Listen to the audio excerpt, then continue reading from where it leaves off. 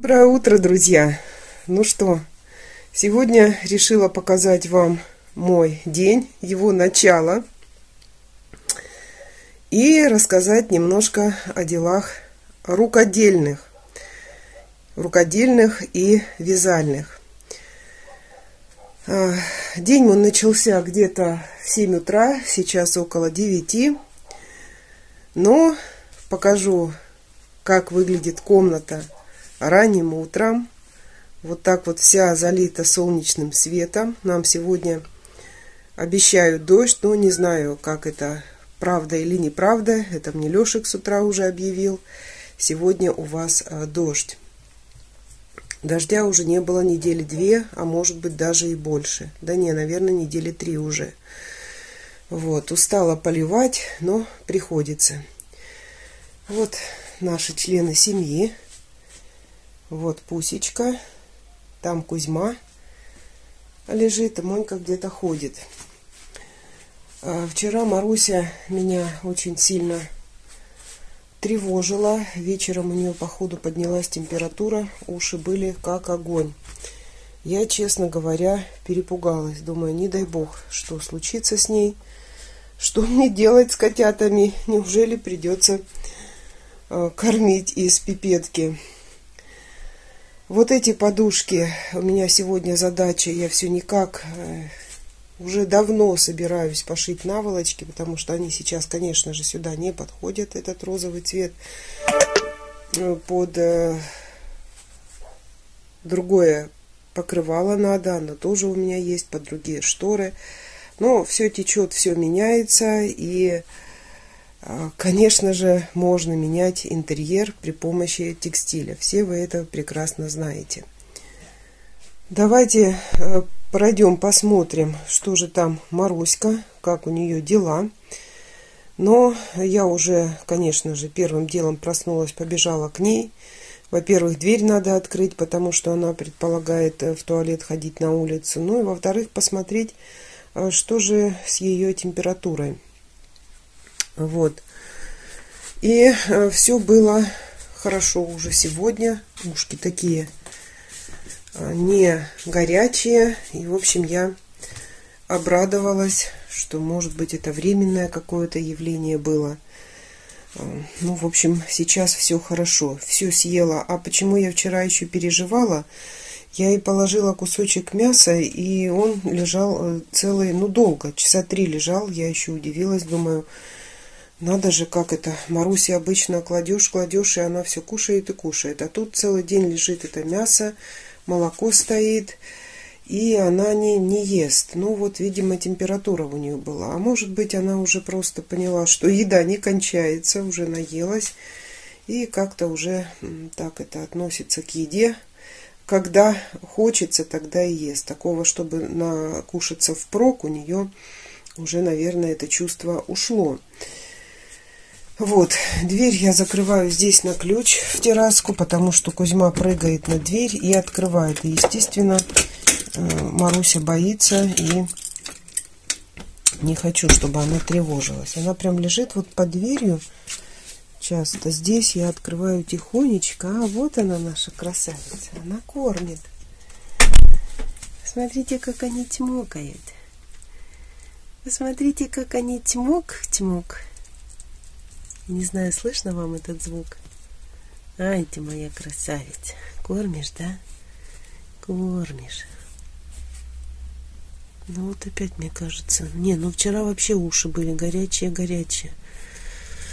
А может быть у кошек, э, ну как бы всегда повышенная температура, она же должна греть котят, потому что не всегда же они летом рождаются, иногда и зимой, неизвестно в каких условиях, и природа может быть, ну, как бы знает лучше, и вот так вот заложено, что может быть поэтому повышенная температура. Но вы посмотрите на это чудо. Но это же просто чудо чудное. Она вчера их вытаскивала, всех выйду, а они все вот здесь вот в, в терраске на полу. я говорю, Маруся, ну что ты их вытаскиваешь? Сначала одного вытаскивала вот этого, который первый родился, это Беляшек. А потом и всех стала вытаскивать. А Леша мне говорит, Лен, это она специально, наверное, их вытаскивает, чтобы у них ножки уже разрабатывались, чтобы они ходили. Вот, ну, наверное, да, наверное, так это и было. Я их, конечно, они все сонные, сидят здесь вот на, на полу, все сонные, друг к другу прижались, им ходить не хочется, им спать. А Маруся их э, типа давайте, давайте, ходите. Вот корм, роял канин, то есть что мы даем своим э, котам, то и Маруся кушает. Водичка у нее здесь э, стоит. И молочко. Ну, молоко я забрала коробку, она все вылокала, причем оно скисло. Ну, домашнее молоко, оно и кислое вкусное, оно прям ну, как сметана. Вот. Сейчас вот налью, понесла, занесла помыть. У нас здесь в терраске небольшой бардак. Это у меня вот бак стоит с водой, потому что иногда закрывают воду, выключают. У меня должен быть запас. Но э, в последнее время не выключали, не знаю. Все время вода идет, все лето. Что вы, мои сладкие?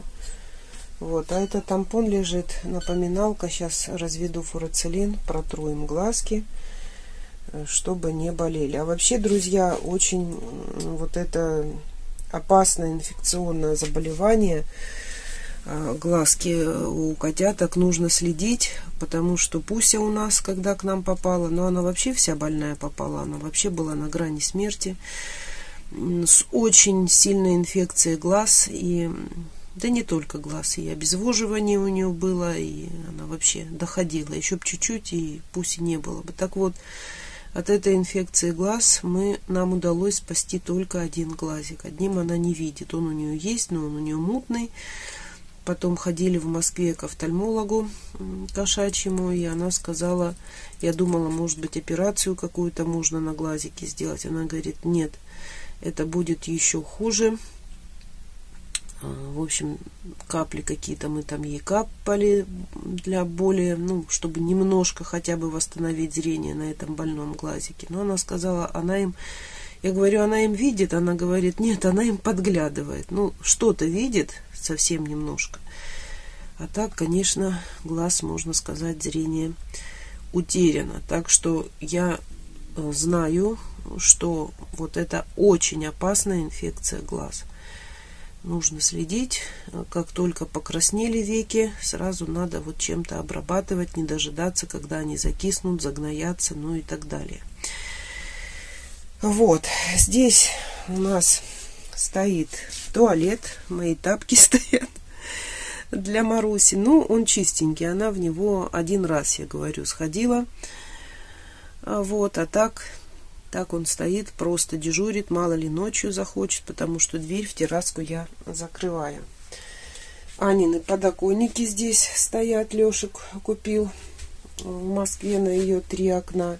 Да, у Ани дела э, продвигаются, но, друзья, показывать пока нечего. Она сейчас делает стены, шлифует, э, помощи ни от кого нет. Э, вот, надеемся, что осенью опять приедет папа, и тогда там уже и полы стелить, и она покупала такой же ламинат, как и я. И мебель собирать, все есть, но это все будет потом. И сейчас она устраивается на работу. Пока, ну вообще она сказала о моей жизни меньше рассказывай. У нее, ну не хочет она быть публичной. Поэтому, друзья, что разрешит она, то я и расскажу. Куда устраивается, я знаю, буду, будет вопрос э, не буду я это озвучивать, вы уж меня простите. Это моя дочь, но это ее личная жизнь, и она не хочет быть публичной. Вот такую штору я здесь повесила. И посмотрите, что придумала, чтобы, когда ветер сильный, ее не уносило. В сарае нашла вот такой вот грузик.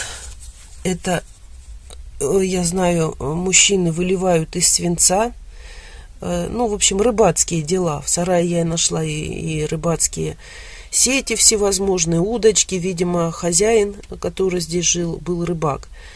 Вот, и вот как же он мне пригодился. Я этот грузик прикрепила на эту штору, и вот, вот вышла, вот так положила, ветер дует, и э, моя штора на месте, в общем, мухи не залетают. А вторую сторону, вот такой у меня был, такая вот штука, крышка, она чугунная, вот такая, я ею иногда при помощи ее делаю цыпленка табака.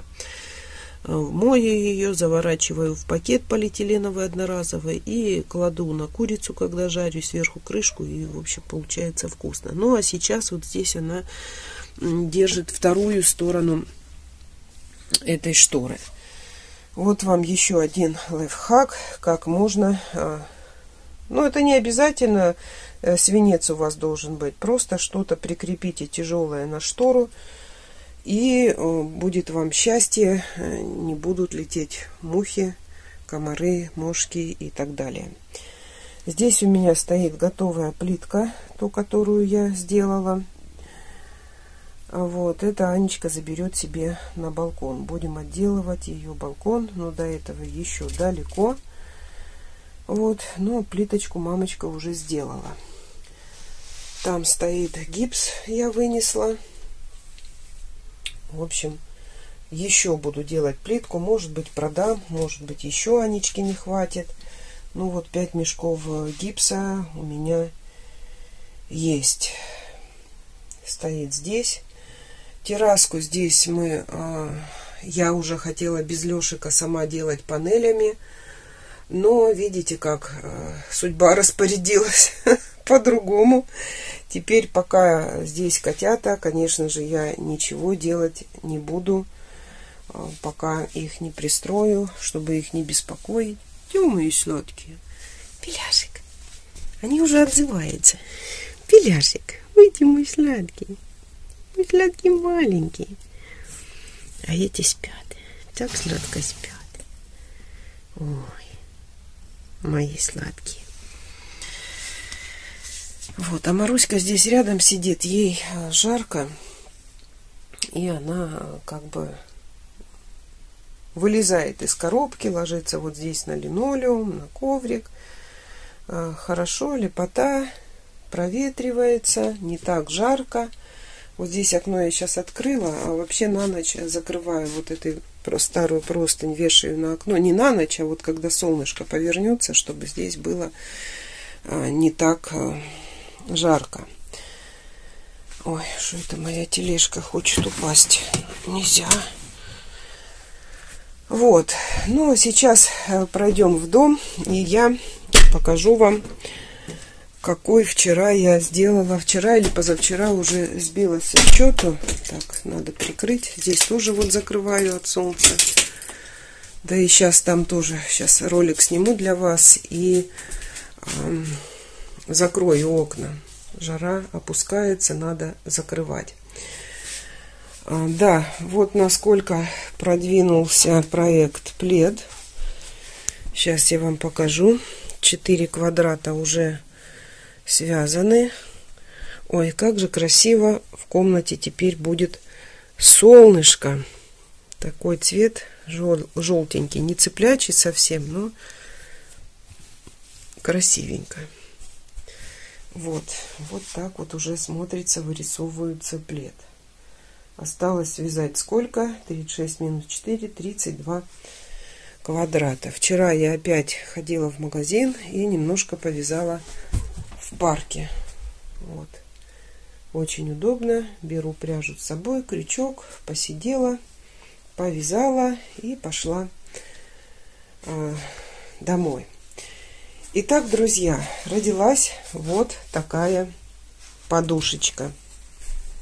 Посмотрите, какая красота. А, убрала я отсюда а, скатерть, которая э, накрывала кресло. Во-первых, котам это как тедралка здесь у меня. Это я специально здесь, они дерут коготки, обматываю джутом, меняю потом, когда уже лохмотья. Вот уже одна штучка оторвалась. В общем, это кресло и кресло, и когтеграл, когтедралка для котов. И вот, помните, я вам показывала вот этот э, свой недовяз. Из него получилась вот такая замечательная подушечка. Наволочку я пошила из мешковины. Очень классно смотрится. Но вообще в нашем доме просматривается эко-стиль. Корзинки всякие, подушки. Ну, в общем, все это просматривается. И вот получилась такая подушечка боха в стиле боха эко-стиль. Вот, все очень просто. Да, подушку я собрала из двух сидушек. Я покупала сидушки как-то на Вайлберис. Они такого аляпистого цвета были, ну, под покрывало, под шторы. Все это лежит, может быть, Ванину квартиру пойдет. А, но, в общем, не подходят сейчас. И я их сшила между собой, эти две сидушки. Получилась вот такая подушечка. И э, на наволочку я сшила наволочку из мешковины. Мешковину, кстати, покупала на Wildberries. Такого хорошего качества. И потом на мешковину нашила вот этот свой недовяз. А вы там спрашивали схему, друзья. Ну, во-первых, где сейчас я вам выложу схему, хотя могу во вкладке в этом ВКонтакте выложить.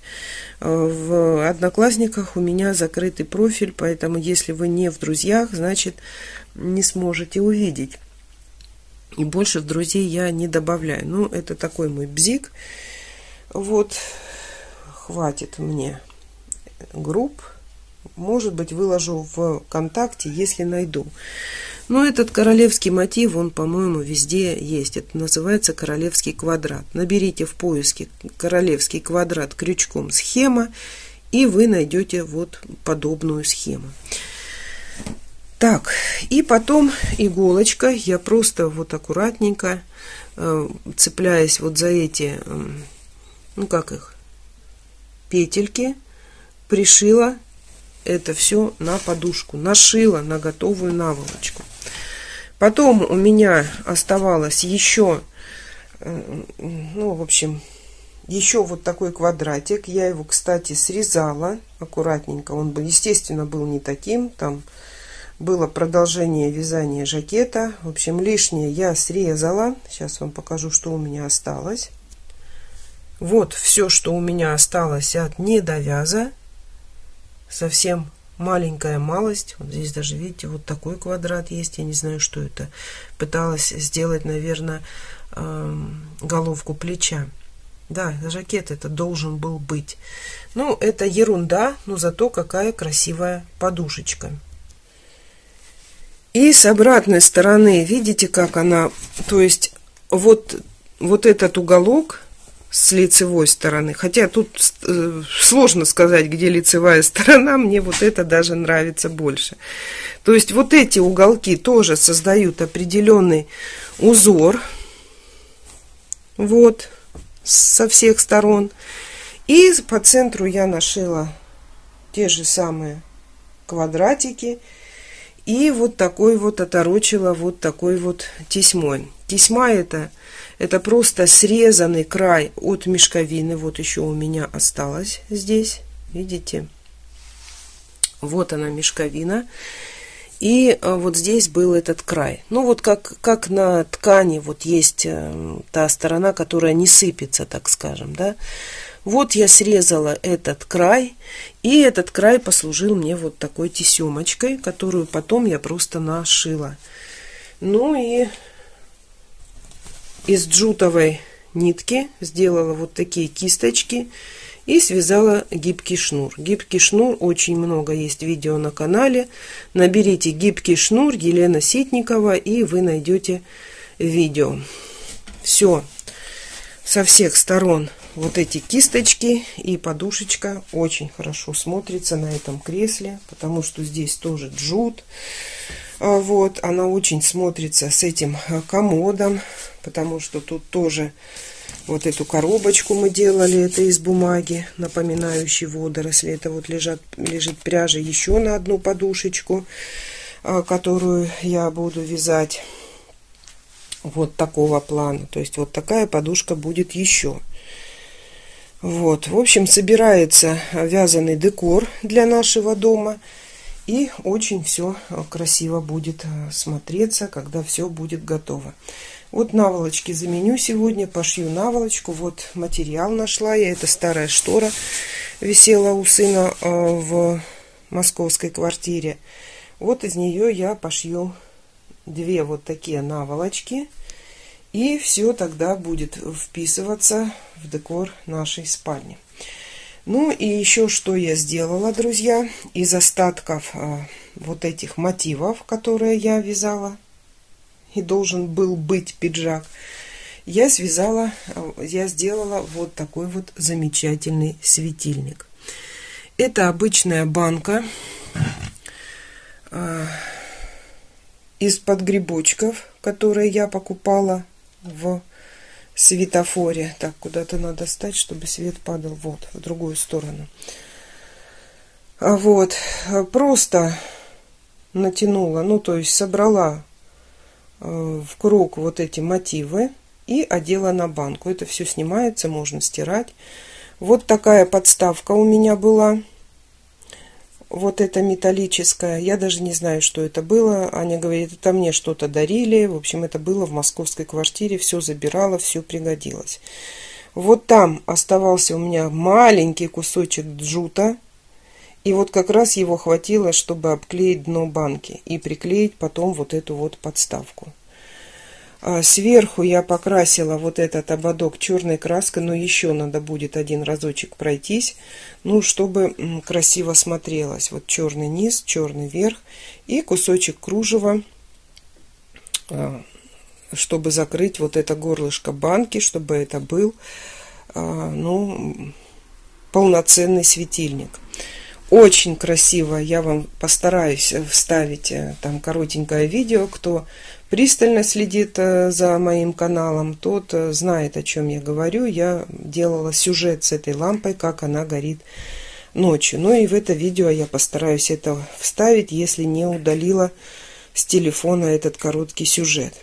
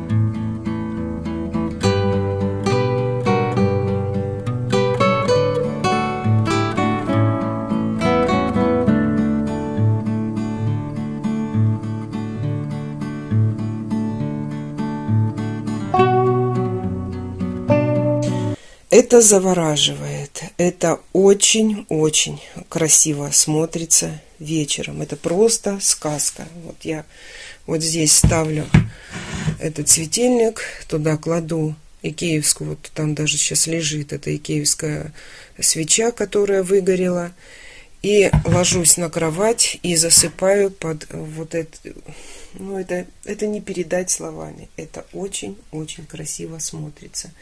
Ну и, конечно, гармонирует это все с этой подушечкой.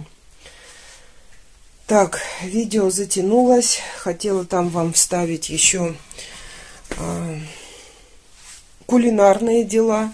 Но уже тогда это все не буду мешать в одну кучу. А, в другом видео расскажу я, как я обожглась на рецепте на одном, который увидела на ютубе. Но, конечно, потом переделала, но кое-что пришлось выкинуть. Жалко продукты, жалко мне стакан домашнего молока, жалко куркуму, муку и так далее. чуть не испортила вообще все. Блюдо было из кабачков. Это такая небольшая интрига для вас. Как же коты любят устроиться на чем-то таком мягком. Вот Пуся уже на мешковине кусочки лежит. Вот. Все, мои хорошие, на этой ноте я буду заканчивать сегодня такой вязально-невязальный влог. Всего понемногу. Надеюсь, вам было интересно. Я вас всех обнимаю, всех люблю. И до скорых встреч. С вами была Елена Ситникова. Пока-пока.